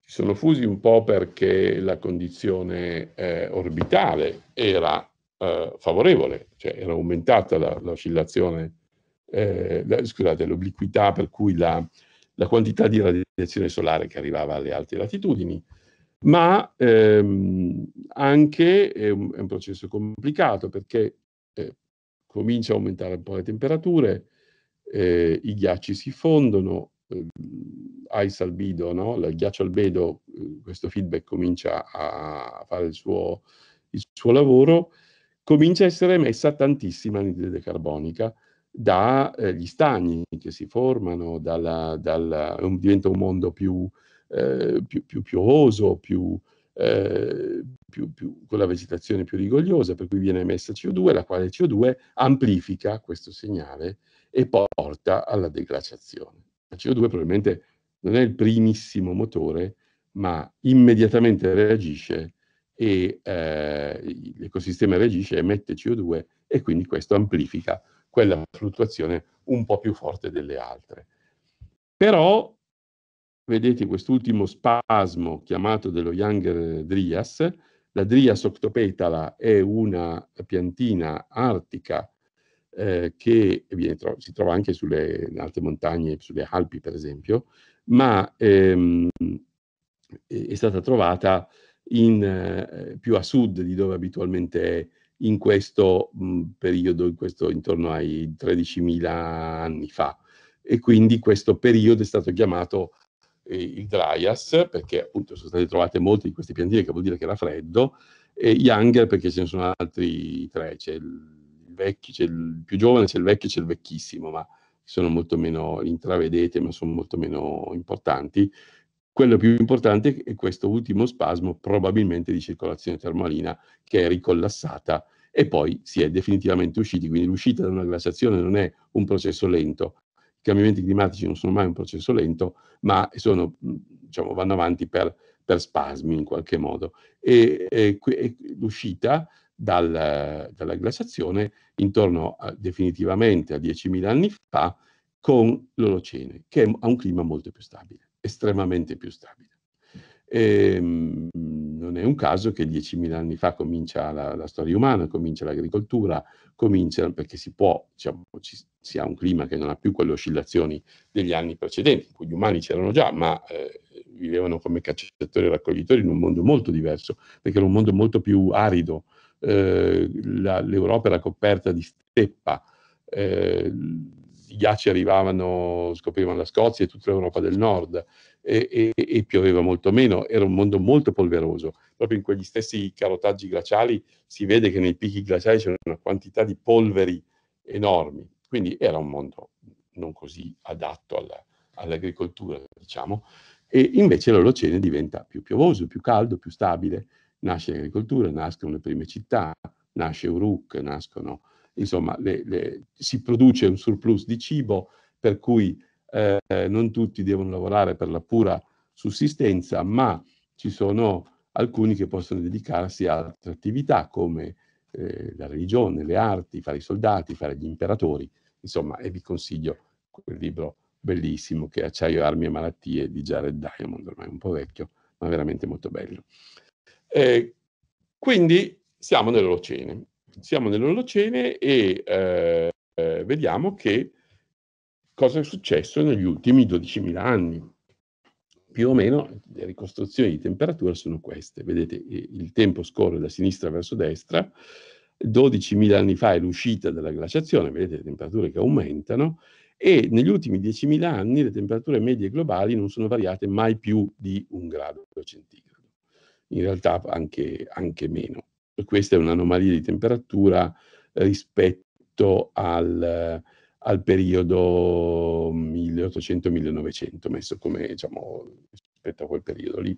E rispetto al 1800-1900 vedete che le temperature nel cosiddetto optimum climatico intorno a 6.000-7.000 anni fa erano più alte di ma, me, un grado o probabilmente anche meno.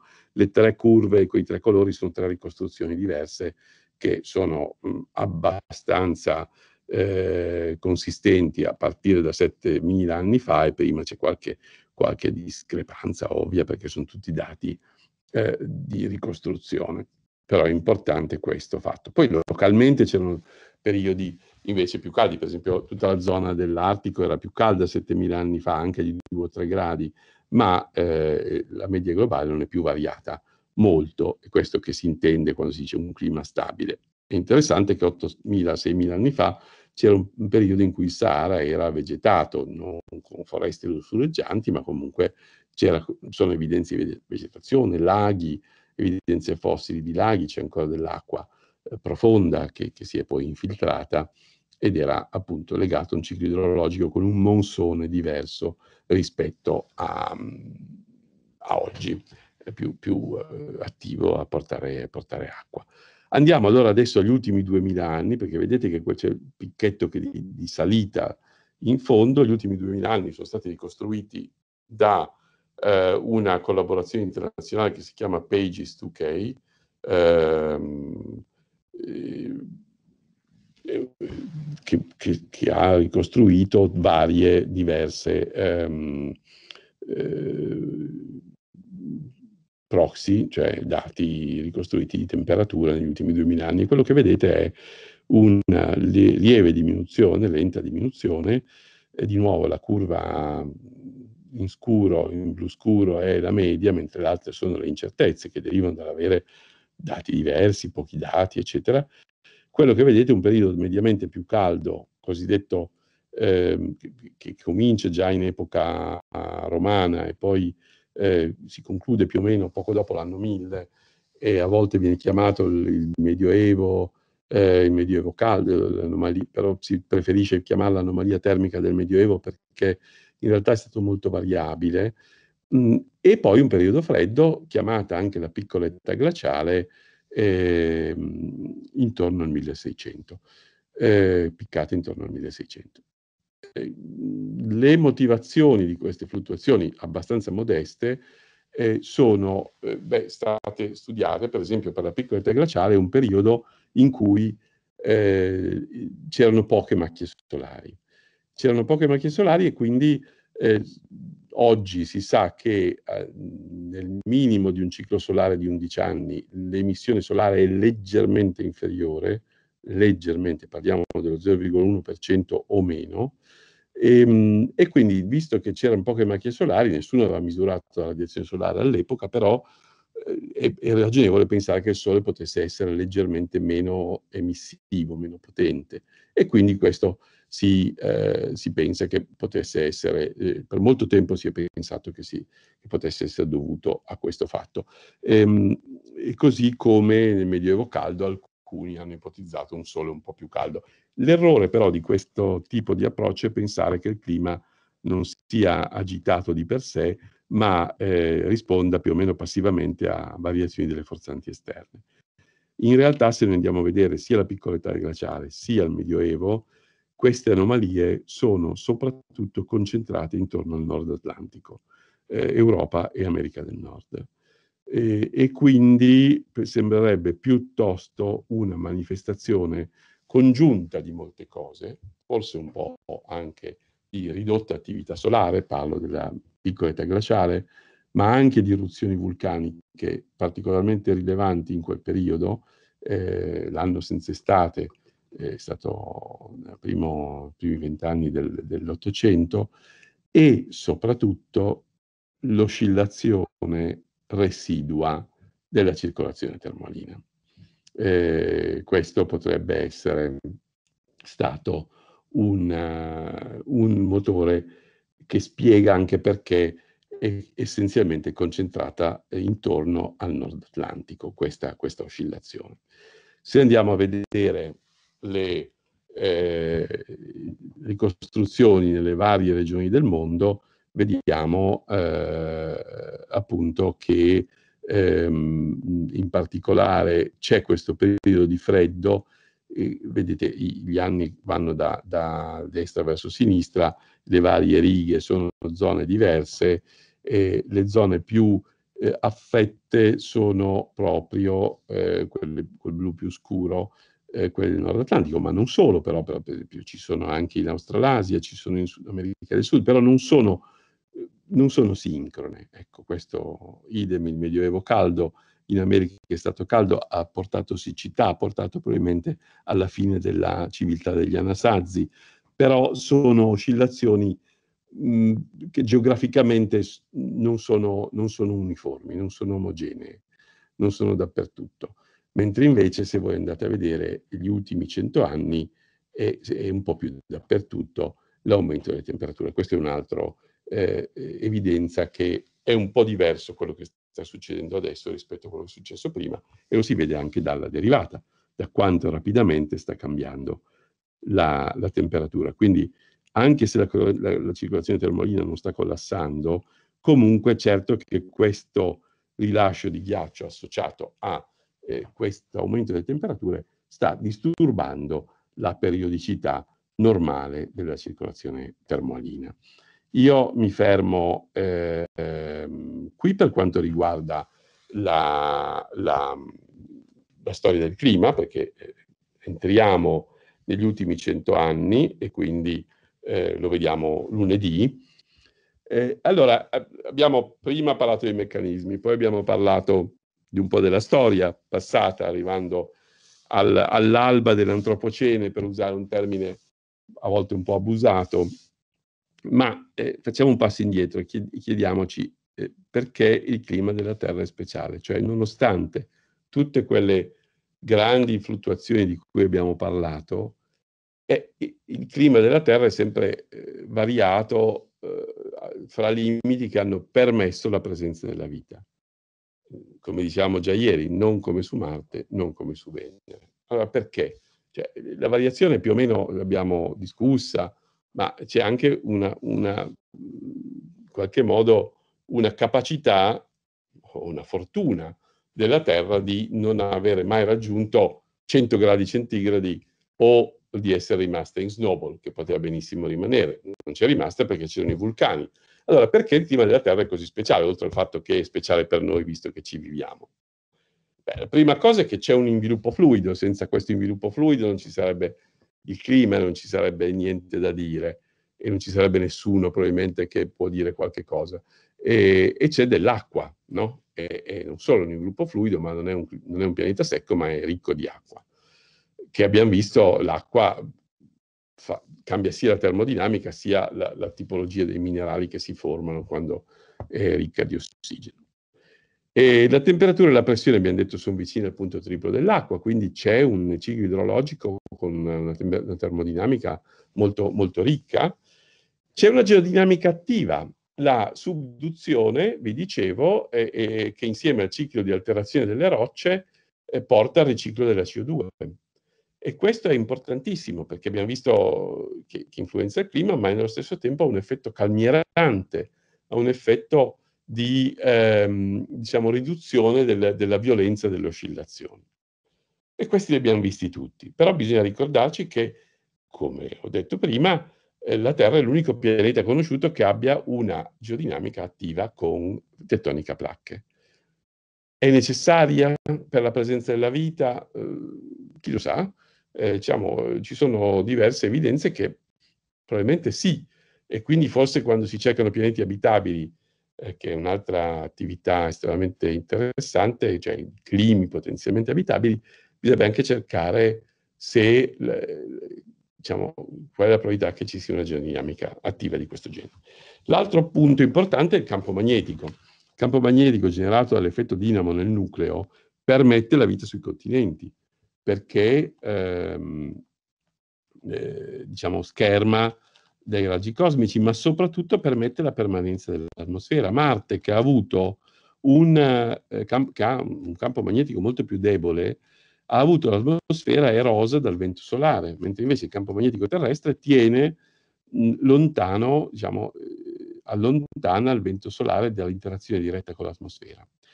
E poi la presenza della Luna, il campo magnetico, eh, vabbè, questo l'abbiamo visto ieri, l'ho rimesso solo per ricordarci le cose che abbiamo imparato, eh, ma eh, eh, questo è il campo magnetico, dicevamo appunto, che protegge l'atmosfera terrestre sostanzialmente, ma eh, la presenza della Luna di nuovo ehm, eh, citata e studiata da Jacques Lascar. Il punto è che la Luna è molto grande rispetto alla Terra e stabilizza la ehm, eh, variazione dell'inclinazione dell'asse terrestre.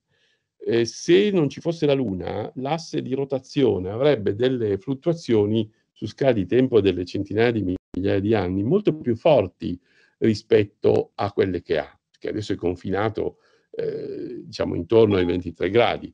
E quindi ehm, senza la Luna avremmo le stagioni che si randomizzano.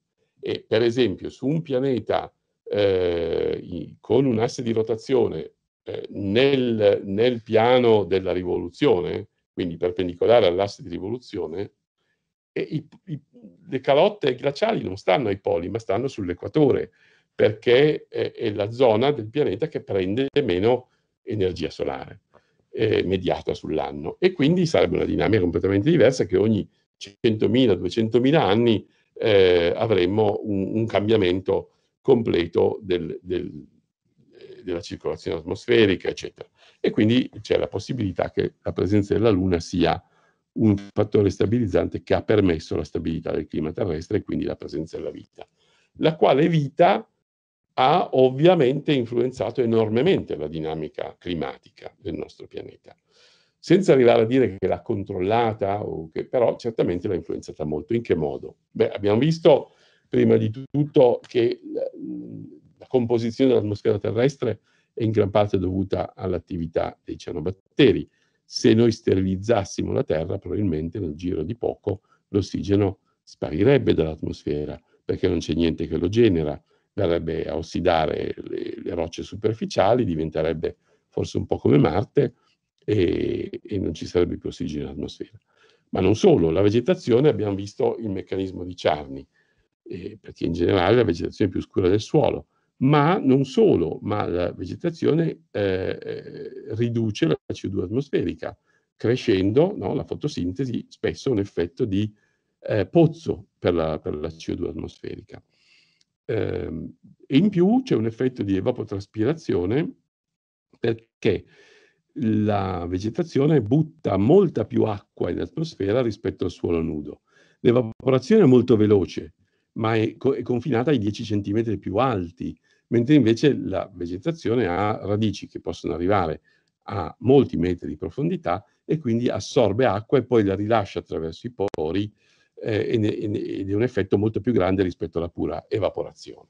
Questo è un equivalente di un meccanismo di Charney, ma sulla eh, evapotraspirazione. Se a un certo punto avessi meno vegetazione o minore traspirazione, quindi di nuovo una colonna d'aria più stabile, quindi minore precipitazione e quindi meno vegetazione. È molto simile, ma non è un effetto albedo, ma è un effetto di evapotraspirazione, cioè evaporazione e traspirazione dalle piante.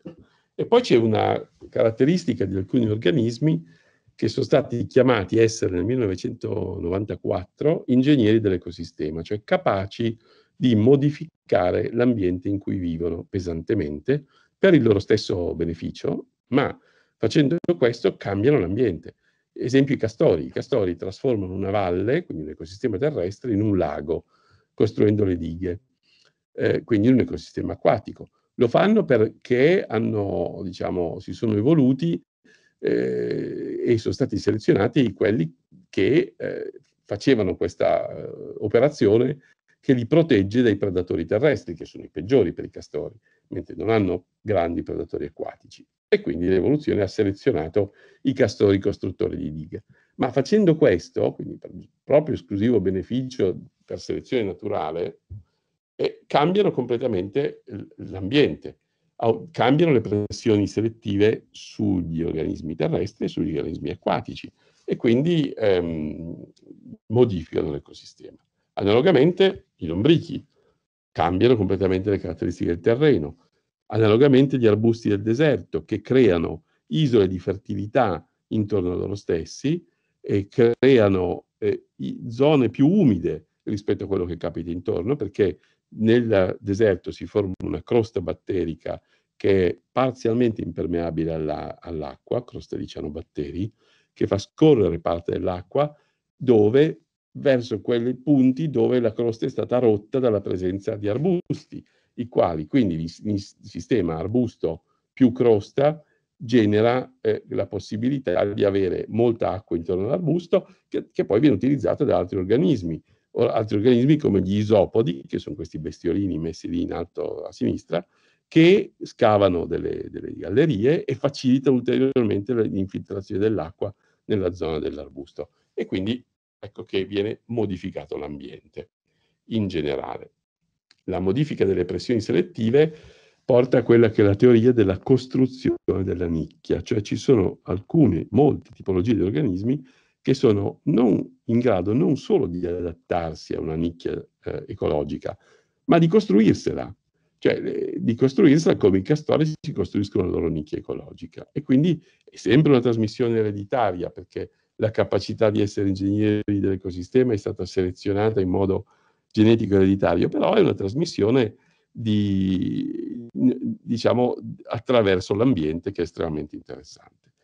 E poi appunto i grandi cicli biogeochimici eh, globali, che sono quelli che abbiamo eh, insomma, dato, descritto come metafora con quella di Daisy World, ma che in realtà sono molto più complessi, che includono eh, un effetto di, diciamo, di ingegneria dell'ecosistema, se esiste, a livello globale. Che i cicli biogeochimici globali esistono e modifichino il clima è assolutamente vero, eh, che possa esserci un effetto di omeostasi è, è ancora, diciamo, tutto da, tutto da, discutere. Però volevo eh, concludere sostanzialmente con eh, un po' di, di, ricercatori del passato e del, e del presente, ehm, col fatto che il clima della Terra è caratterizzato dalla presenza della biosfera e, e che l'interazione fra geosfera e biosfera è assolutamente cruciale, cioè il nostro è un pianeta vivente. Eh, la Terra è stata definita da eh, Andrew Wallace, che è, è scritto, è questa foto in bianco e nero in basso a sinistra, contemporaneo di Darwin e co-fondatore eh, della teoria dell'evoluzione per selezione naturale, naturale come One Grand Organic Whole, cioè un grande tutto organico. Il primo che ha, diciamo, proposto e sostenuto l'idea di natura nel senso moderno è proprio Alexander von Humboldt, che a partire dalla fine del Settecento fino a metà Ottocento è questa figura eh, a colori eh, a sinistra, ehm, ha fatto passare la percezione della natura da una percezione di eh, natura-macchina di tipo cartesiano alla natura come rete di interconnessioni, come, come network di interazioni e interconnessioni. Ed è, eh, c'è un bellissimo libro di una divulgatrice e scrittrice tedesca che è Andrea Wolf, proprio su la, intitolato L'invenzione della natura ed è dedicato a, a, von, a von Humboldt eh, proprio e quindi è, è, abbastanza diciamo, interessante leggere anche alcune delle, delle, delle, delle opere di Humboldt. Tra l'altro lui è stato uno dei primi, forse il primo, a notare la possibilità che l'intervento umano potesse cambiare il, il, clima, andando a notare il disastro eh, fatto dalle piantagioni coloniali in America del Sud, e come queste avessero modificato il regime idrologico locale, ovviamente, il clima locale.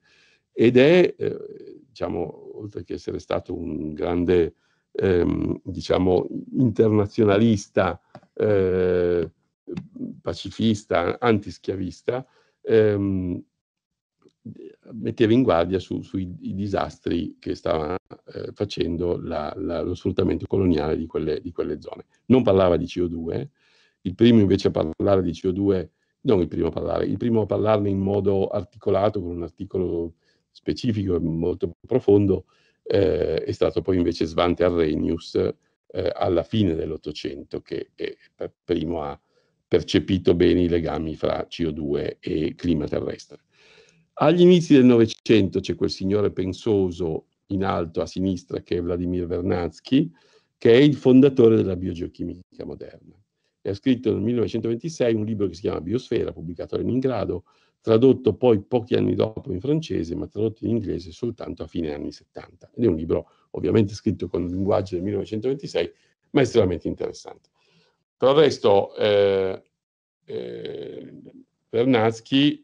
parla di un'ulteriore evoluzione eh, della biosfera che cresce fino a trasformarsi nella noosfera, la noosfera è questo, questo mondo dominato dall'intelligenza e dall'agire intelligente umano che curiosamente mh, è stato eh, ripreso e citato anche da Teilhard de Chardin, gesuita, eh, Bernansky ateo, Teilhard de Chardin, gesuita, eh, inviso sia ai religiosi che agli scienziati, perché diciamo, aveva delle posizioni abbastanza pittoresche ma molto, ma molto interessanti, e tutte e due cioè, parlano di questa ulteriore evoluzione.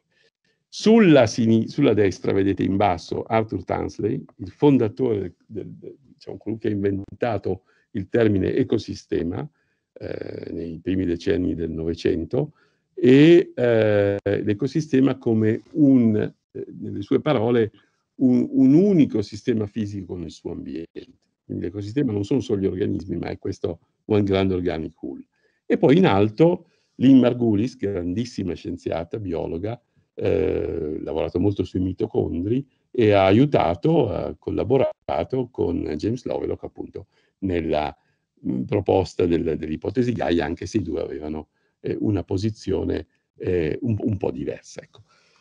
Quindi in qualche modo eh, capire il clima è anche capire l'interazione, il clima della Terra fra geosfera e biosfera e questo aprirebbe a tutta una serie di, eh, di discorsi su capire quale può essere il clima degli esopianeti che si stanno scoprendo, di cui sappiamo molto poco peraltro, ma che possiamo simulare, cercare di capire eh, con, quei, con, quei, metodi che abbiamo visto, ehm, quei modellini semplici o un po' meno semplici che abbiamo visto ieri. E io direi che con questo possiamo concludere eh, oggi e ci rivediamo lunedì. Grazie. Però prima chiediamo se ci sono domande.